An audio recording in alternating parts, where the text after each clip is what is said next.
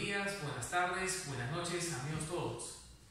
El rubro minero, como sabemos, es uno de los más complejos y exigentes sectores del mercado.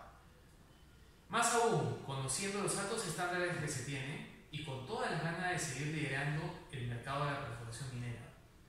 Es por esto que resulta vital mostrar nuestro compromiso con la seguridad de nuestros trabajadores, quienes constituyen lo más preciado de nuestra organización cuando hablamos de mostrar nuestro compromiso por la seguridad de nuestros trabajadores, nos referimos a todas las iniciativas y el esfuerzo que desarrollamos para seguir optimizando y hacer más eficiente nuestro servicio.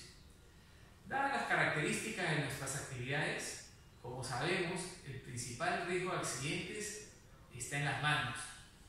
Las manos son una de las partes más importantes de nuestro cuerpo, ya que con ella actuamos en casi todo el día a día. Por ejemplo, a la hora de escribir, a la hora de tomar de la mano a ser querido, a la hora de comunicarse, especialmente al trabajar.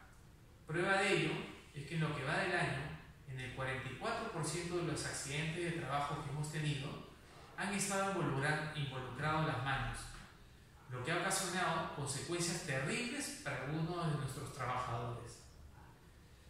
Sabemos que para continuar creciendo debemos hacerlo combinando diversas estrategias que busquen el desarrollo de una cultura de seguridad. Una de estas estrategias es el desarrollo de campañas de seguridad y salud en el trabajo. Para ello, en esta oportunidad, tengo el agrado de presentar nuestra nueva campaña de cuidado de manos denominada Yanken Po, la cual tiene como objetivo sensibilizar y generar una cultura preventiva de cuidado de manos en todos nuestros colaboradores y hacer que todos le demos la importancia de cómo prevenir los accidentes de manos en los procesos de perforación minera. Desde ya, les agradezco a todos por participar activamente en las diversas actividades en todas las sedes donde se ejecuten estas campañas, fomentando realizar tareas seguras y sobre todo cuidando nuestras manos. Gracias.